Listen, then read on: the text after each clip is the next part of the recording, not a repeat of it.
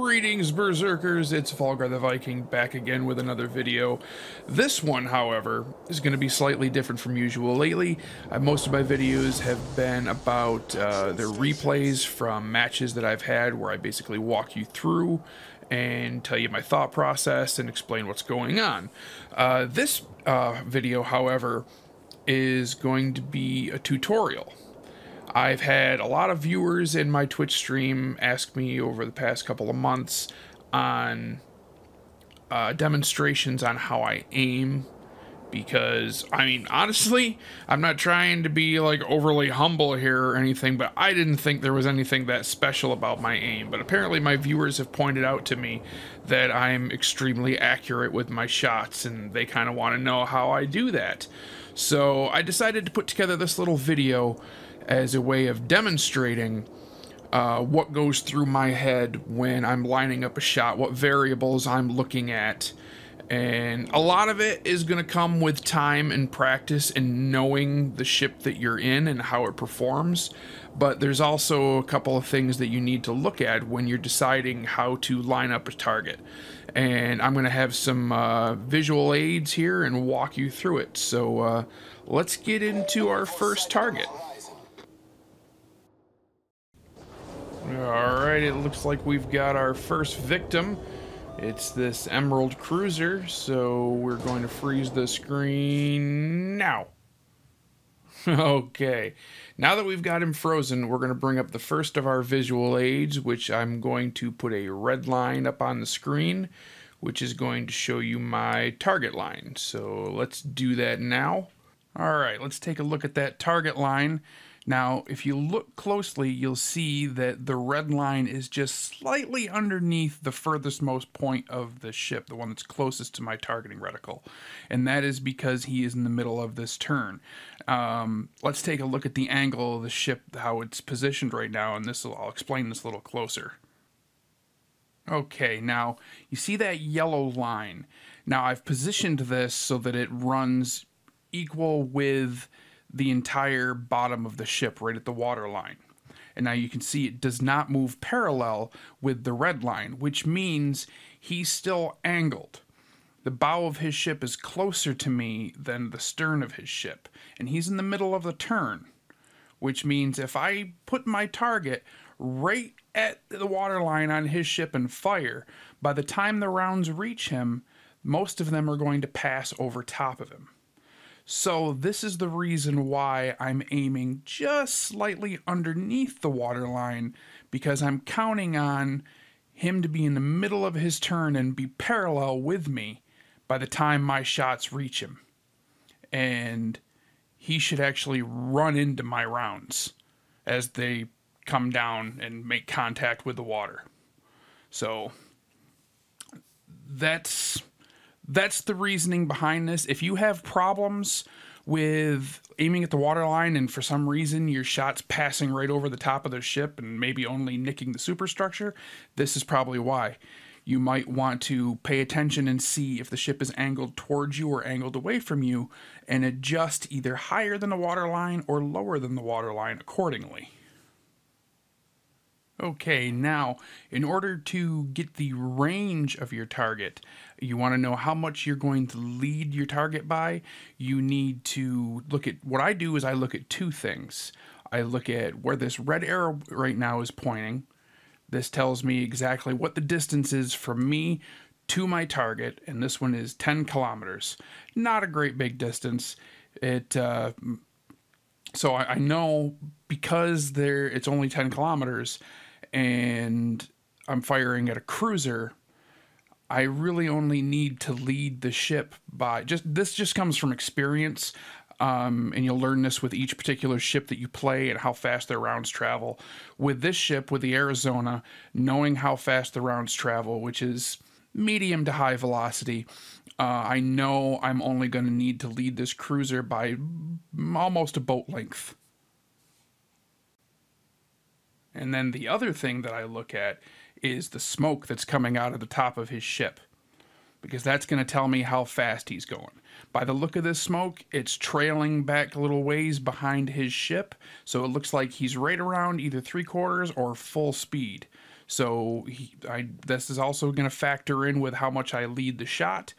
Um, I've already got it positioned here right about where I think it needs to be, right around a boat length or so, because like I said, I'm only at 10 kilometers, but he's going full speed and it's going to be a fast ship. But at this range, it won't take long for my rounds to get there. So we're going to try a shot right now, and let's see what happens using all of these factors.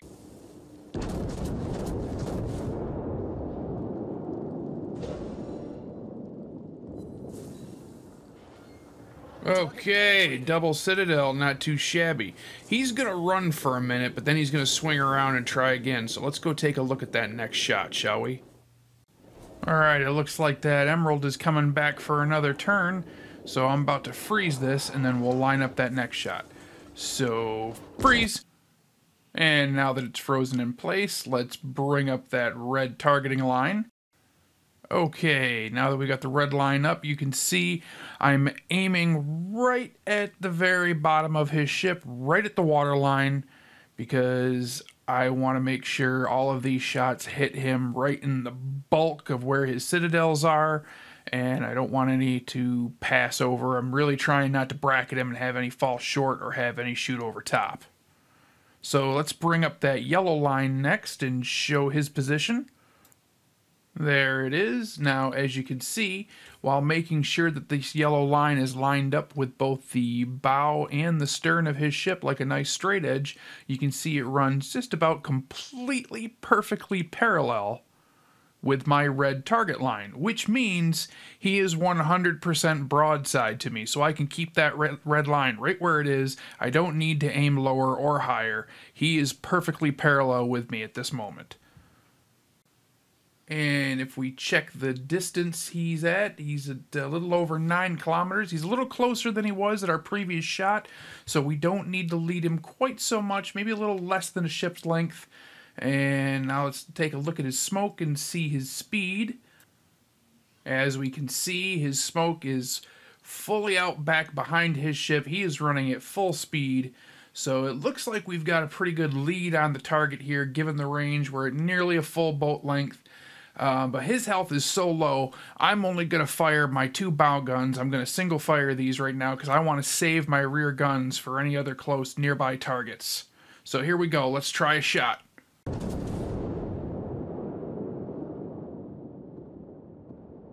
Bullseye. All right.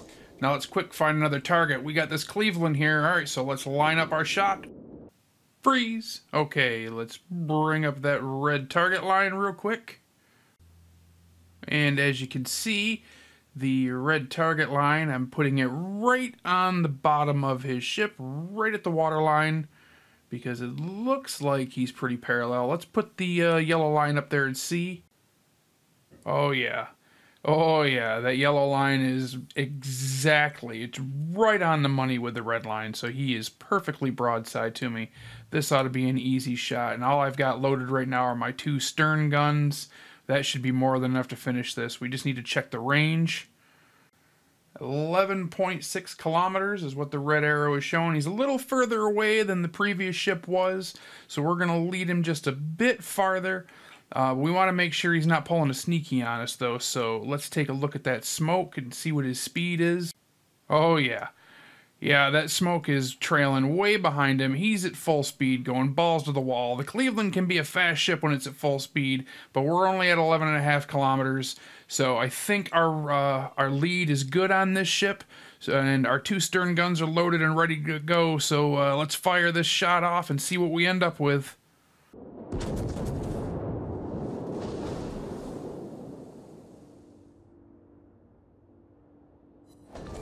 He shoots, he scores! All right, well, it turns out those uh, those two shots landed a little bit further back than I wanted to, so we could have let him some more.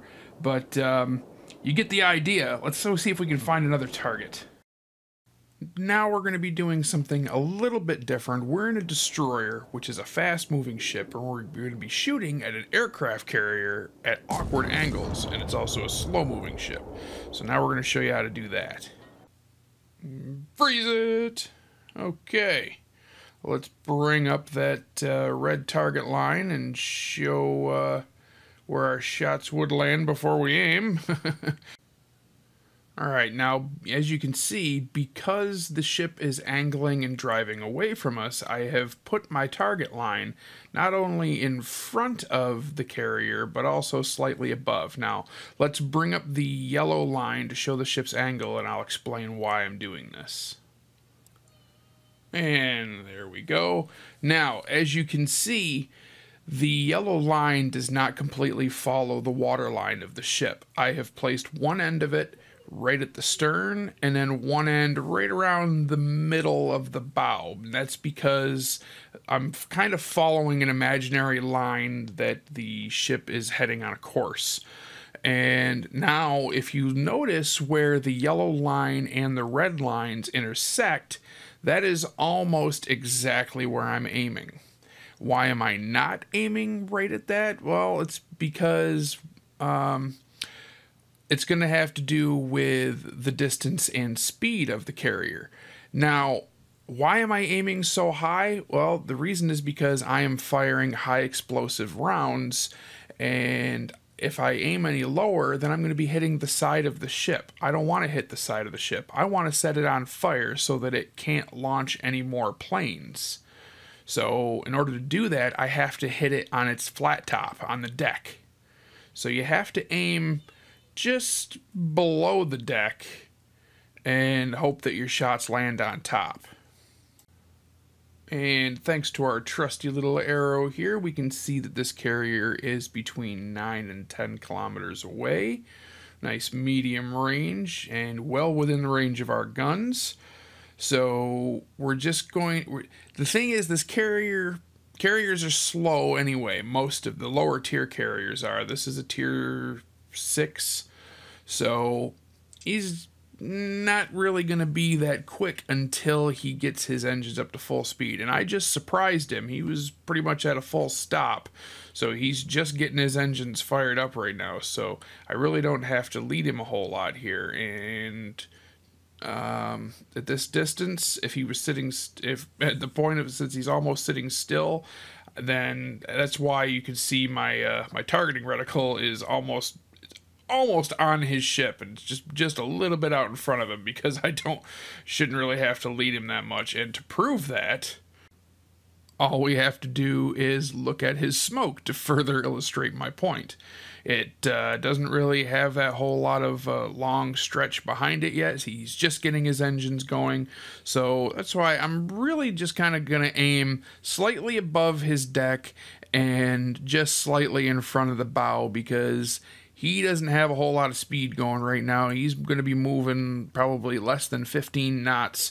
So at this range, my shots aren't going to have to travel that far. So um, let's uh, give this one a shot and see where they land.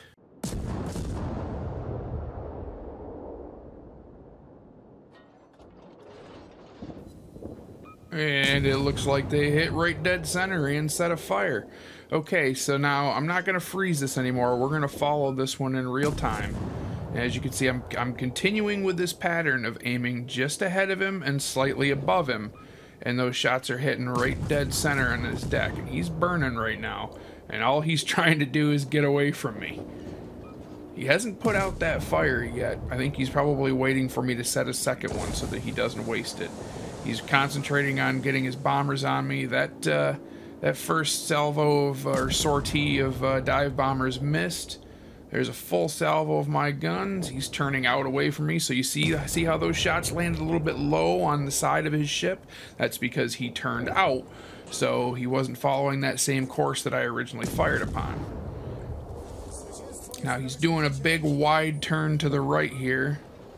So I'm going to basically reverse what I was doing. Still aiming uh, just in front and above. And there's another fire.